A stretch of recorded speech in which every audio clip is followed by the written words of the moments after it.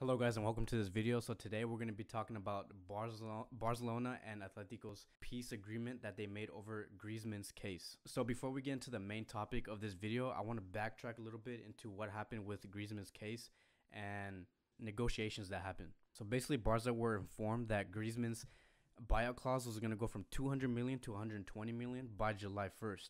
So if say if a team buys Griezmann in June, then they're gonna have to pay 200 million. And Barca knew that, so they said, okay, we're gonna wait until July 1st until his buyout clause drops, and we'll purchase the player. So July 1st came by, and and Griezmann always wanted to join Barca, so of course. So of course Griezmann agreed to join Barcelona, and then Barcelona paid the 120 million euros to Atletico Madrid, and then you know life went on, right? But then later on, like two to three weeks later, Atletico complained to Spanish FA saying, "Hey, there's evidence that Barca and Griezmann's agent were talking since February and March. And at that time, Griezmann was worth 200 million. So that means that we should get paid 200 million, not 120 million. And so Atletico Madrid was so were so salty because Atletico didn't like how Barca were negotiating with Griezmann's agent and Griezmann at at that time without Atletico knowing.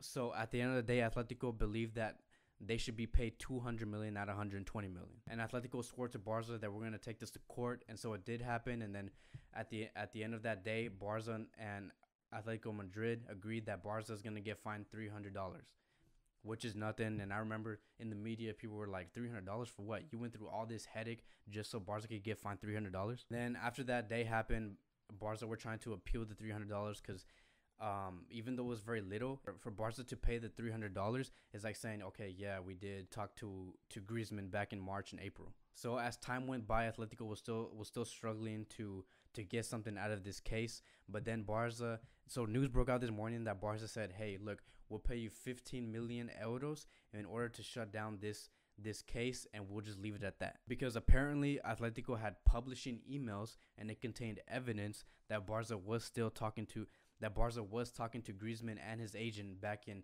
February and March. And so that's why Barca wants to pay the 15 million and just say, "Hey, look, settle down.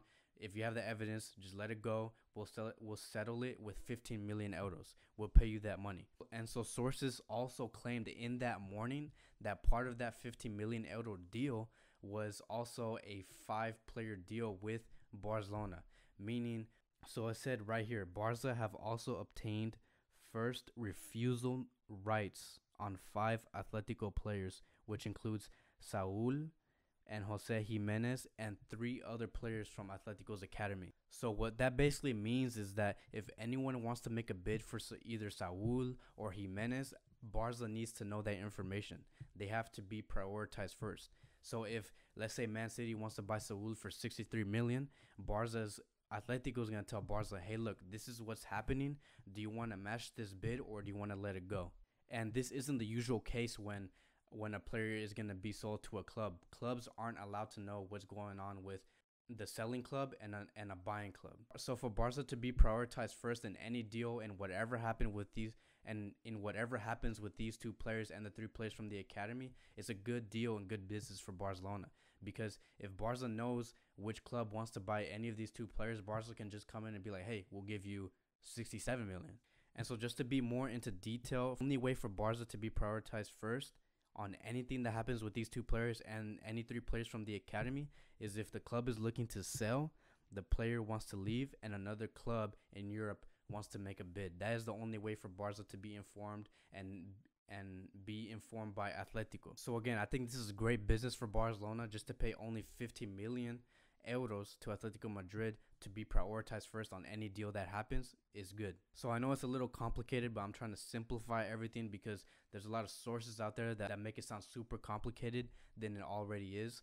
So basically, there's two different operations in this 15 million deal that Atletico and Barca made. It's the Griezmann case and the five-player deal that Barca and, and that Barca and Atletico agreed on. And then another source or report came from Atletico from Atletico CEO or I believe the chairman. I don't know who said it, but they said that this 15 million euro agreement has nothing to do with Griezmann's case. So that's where I'm just like, okay, I don't know about that, right? I don't know what's true and what's not. But the thing is, we do know that there is a five-player deal that Barca is going to be informed and prioritized first on anything that happens with these five players. So honestly, I don't know what Atletico Madrid was thinking when they were giving priority to Barcelona because first of all, Atletico and Barca aren't even on good terms after what happened with the Griezmann case. So only paying 15 million to be informed about these five players for Barcelona is good business for Barca but bad business for Atletico Madrid because then they're going to lose out on a lot of players. But then again,